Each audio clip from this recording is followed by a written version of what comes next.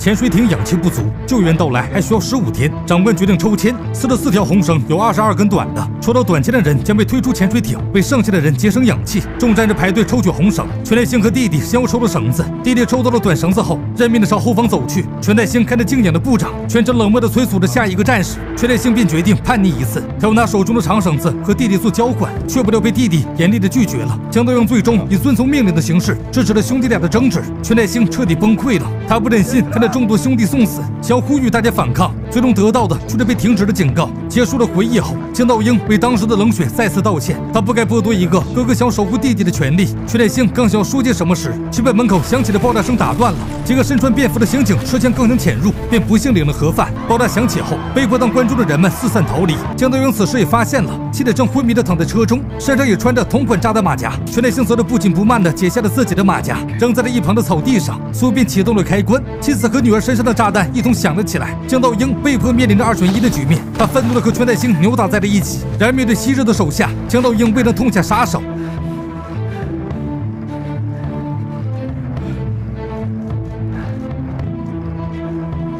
然而全代星却趁机捡起了刀子，将江道英再次压在身下，却被稍后赶来的刑警一枪解决了。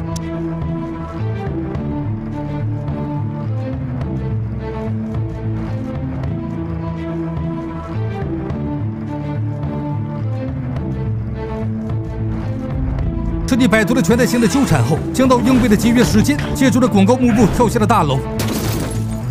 来到了妻子所在的车中后，便驱车前往了女儿所在的咖啡馆。炸弹的倒计时最终停留在十六秒，危机彻底解除了。经此一事后，江道英再次召开了记者发布会，揭露当时潜水艇事发前的真相。他为了保全潜水艇一部分的人，当时擅自做了决定，亲手送自己的二十二名战友丧生于海底。江道英终于在公共场合下承认了自己的错误。至此，电影分贝全片结束。